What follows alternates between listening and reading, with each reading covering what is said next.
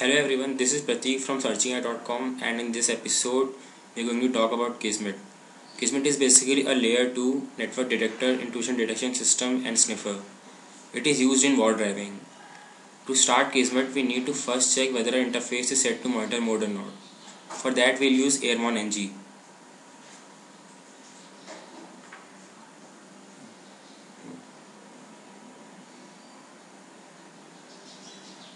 Just type Airmon NG start followed by the interface.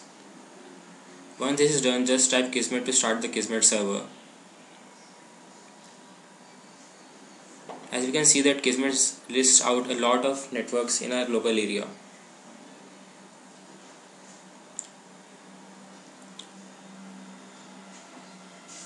The name specifies the ESS ID, the type A specifies that it is an access point, and specified that there is no WEP encryption used and the numbers specify the corresponding channel on which the access point is located. You can also see the number of packets flowing through, the flags and the size.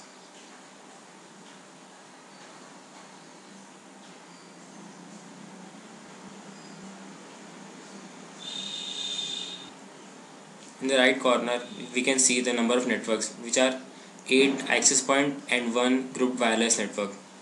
You can also see the total number of packets flowing through and we can see that there are no encrypted packets flowing through. We can see the noise and the number of packets flowing per second. In the bottom right corner, we can see that the channel hopping is enabled. So our source is listening on different channels. To stop channel hopping, we need to first sort, sort these access points. To do that, just press S and in this case we are going to sort by the BSS ID so we push B. Once the once the access points are sorted just type capital L to lock the source onto the specific channel. As we can see that channel is channel hopping has been disabled and the source is now listening on. To enable channel hopping just type capital H and as we can see channel hopping is enabled now.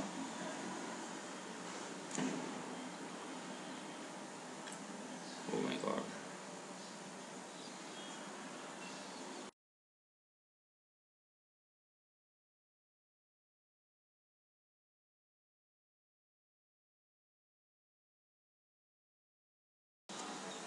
To view the detailed information about a network, just type I as we can see that a whole bunch of information is listed about the access point the ESS ID, the BSS ID, the type, the encryption used and the number of packets flowing.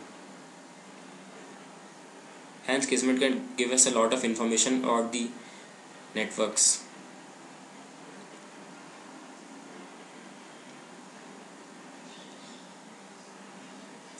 To see the clients connected to a particular access point, just type C. Now to scroll through this uh, these clients, we need to first sort them by specific order. In this case, we choose the MAC address. And now we can see the MAC addresses of the various clients connected to the access point.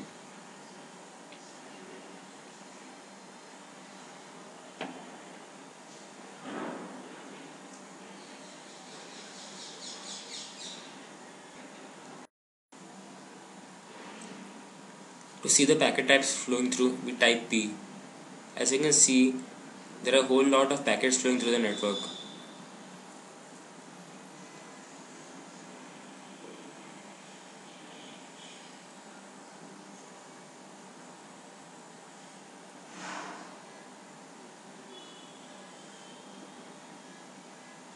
We can also see the packet rate graph which is the number of packets flowing per second.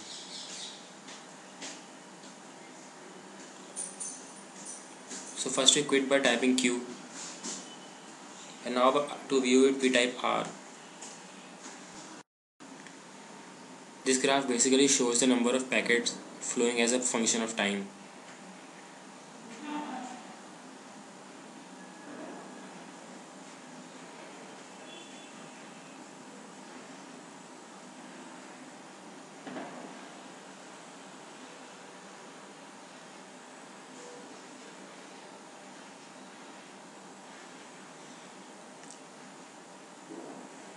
we can also see our wireless card power by typing L. The N stands for noisier and the P for power. We can also see the alerts by typing W. From personal experience Kismet was able to detect the authentication attacks.